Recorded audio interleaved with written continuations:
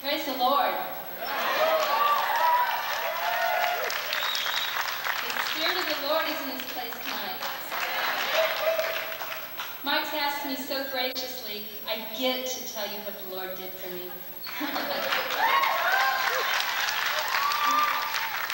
Many of you that were here last year will remember me telling you, but some might not be, it might not have been here last year, and I get to tell again, I get to kick the devil's butt.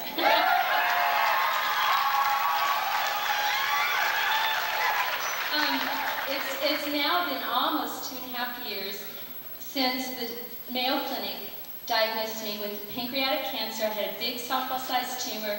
My liver was all eaten up with cancer. My lungs were all full of cancer. Terminal, no hope, nothing. No one could help me. But two months later, God just took that cancer and erased it away.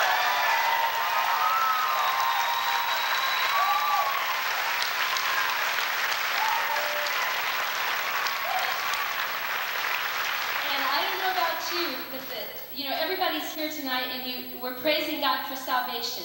That's a given. But everybody has something different in their heart they're praising Him for. I want you to know I'm praising Him because I know firsthand He is a waymaker. He is a, he is a waymaker where there is never a way. God is a waymaker, and I know by the Spirit of God there is a lot of people here tonight that you don't think there's a way.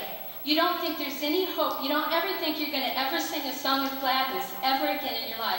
But I'm here to tell you, in my darkest hour, I looked up to God and I said, God, I've served you all my life, and I know that your word is true. And his word is true. If you stand on his word, his word is true, and he will deliver you out of your darkest hour, out of the mourning, out of the sorrow, out of the sadness. And he will put you on a solid rock and he'll give you a song of joy to sing.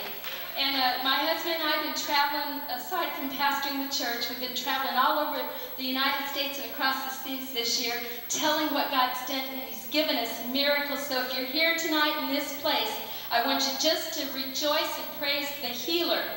And to praise him because he's here and he's able, he is more than able to do anything. I'm a living witness same God that's hand reached down and touched blind Bartimaeus reached down and he touched me and he erased all the cancer where no one could give me any hope. Look, two years later, I am very much alive and well.